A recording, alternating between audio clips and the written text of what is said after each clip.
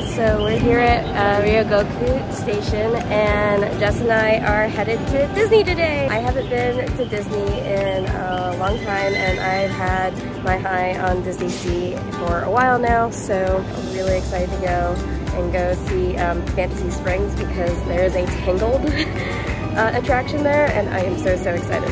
So come join us.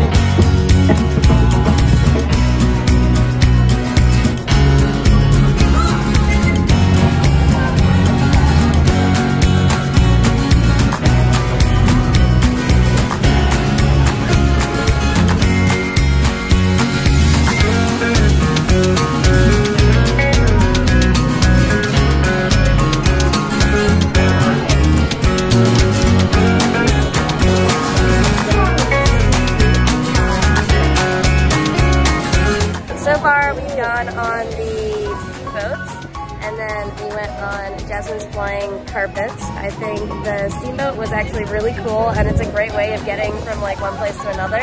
I think I would give that like a 6 out of 10.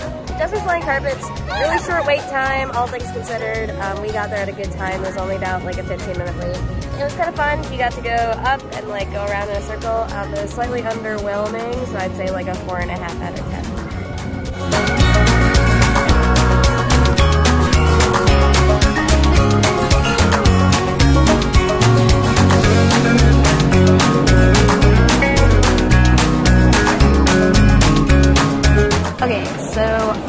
10. we went and got some curry. I got chicken curry, Jess got the vegetable curry.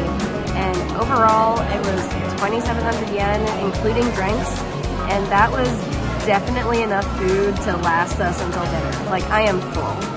And the line wasn't even really that long. We were in it for maybe 15, 20 minutes. That is awesome. You know, I'm not sure if I'm gonna meet my, uh, my $200 limit today. Highly recommend. If you need this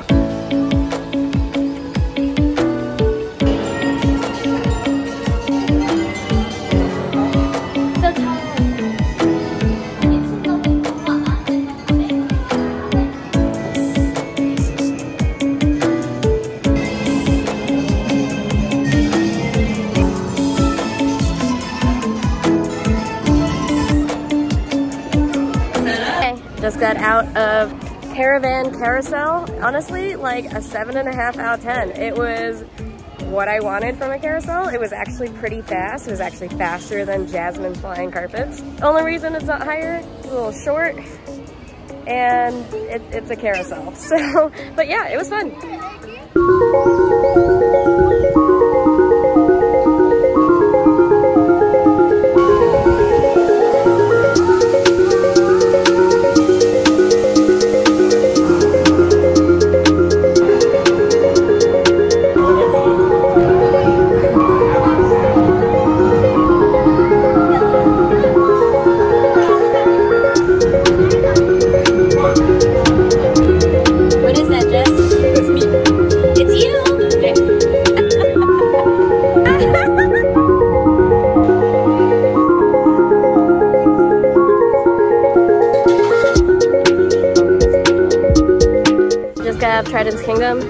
That is probably my favorite area so far. It is so gorgeous and so colorful and I just love it. It's great. It's full of less thrilling rides, but um, we got on the Whirlpool and I'm a huge fan. Seven and a half out of 10. I love it. It's just a little short.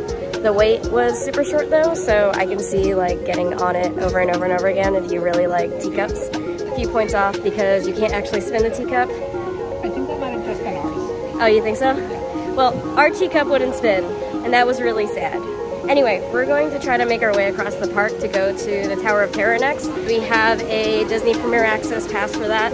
I knew it was going to be a little bit of a wait, so we went and took the money for it. So yeah, now I'm to run across the park and make our time for that.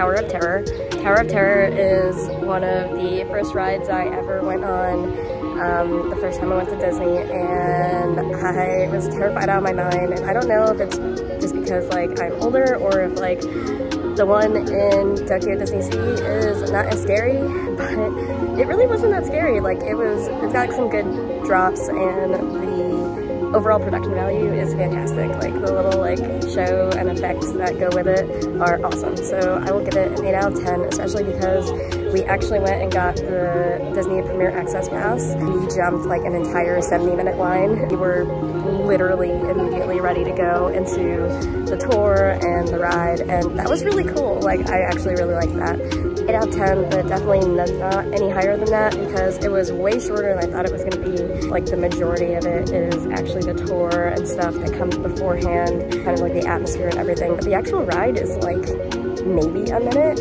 maybe two minutes. Like it is really, really short. Like you don't mind spending the money, I would jump for the Premier Access Pass. If you really want to get on this ride but not spend the money, you're gonna have like a pretty long wait. Really?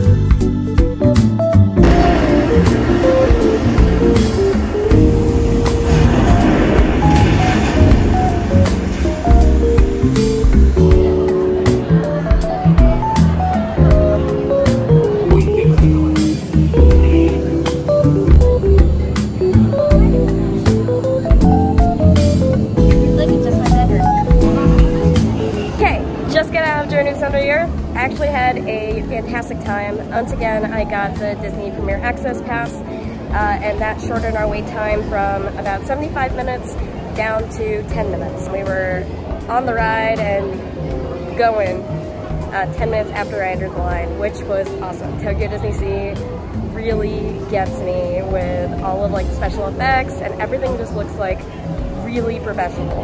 I am super impressed with like all the visual effects and everything like that.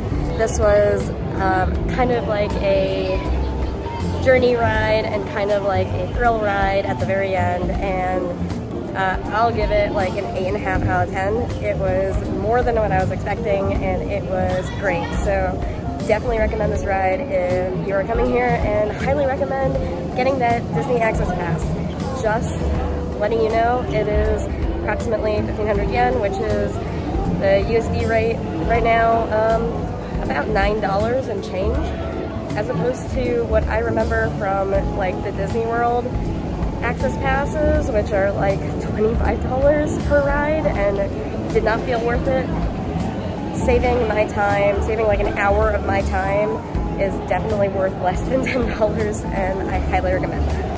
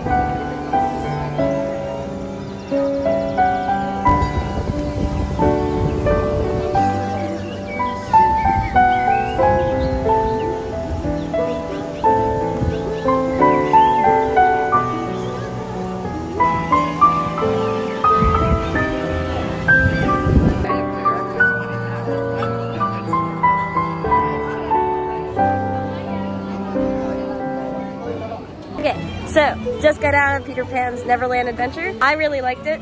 I think that um, if all of the rides at Fantasy Springs are like that one, I am really impressed. The 3D stuff was fantastic and they did a really good job with like the motion of the coaster and everything like that. Um, I thought was extremely cute. So I'm gonna give it like a 7 out of 10. We ended up waiting for maybe like not even five minutes. If you have a standby pass for any of the rides here, I don't think it'll be too bad. Unfortunately, we could not get into Rapunzel's Lantern Festival, which I am really sad about because that was part of the reason why I came here in the first place. Um, but now we're going to go and see if we can't go scope out a shop or something and get some Tangled merch and maybe that'll soothe my ego a little bit.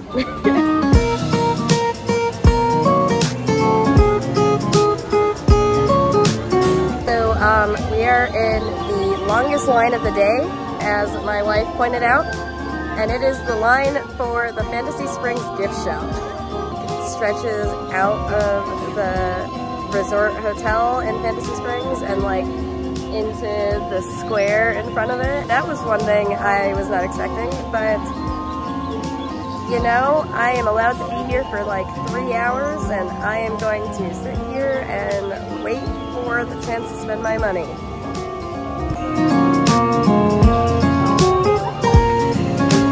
We're almost there. Look, we're so close. okay, so we're out. I got my Rapunzel ears. Probably gonna come back and actually be in cuter clothes uh, because I also got the cutest little lantern bag that I'm going to be using for the rest of the trip because I'm so excited by this. and then of course because um, we're in Japan, I, have gotta, gotta get uh, some omiyage. So I got some Fantasy Springs omiyage. I think overall this was a way more positive experience uh, for me when it comes to going to a Disney park than it usually is. All the staff is super, super friendly. The lines are extremely short. I would be happy to come back and ride more rides. There is not a whole lot of vegetarian options here. So we are actually departing a little bit early to get ahead of the crowds and also try to get some dinner. As far as I saw, there was one vegetable curry, which Jess had, and then one very expensive pizza um, at a like one of the like the richer, higher end restaurants here. So if you are truly vegetarian, you are kind of at a loss, and if you are vegan, don't even try because they are not really going to cater to you here. Other than that, all the food looked uh, really, really good, but um, I would much prefer to eat somewhere that my wife can eat, so we're headed out. Thank you guys for joining me video, and I hope to see you next time. Don't forget to like and subscribe for the next time that I go to Disney. Bye!